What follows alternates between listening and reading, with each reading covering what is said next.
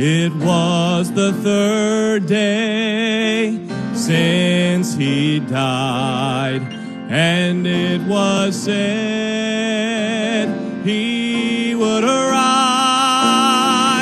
Then from the grave, this lamb came forth. Oh, I have reason to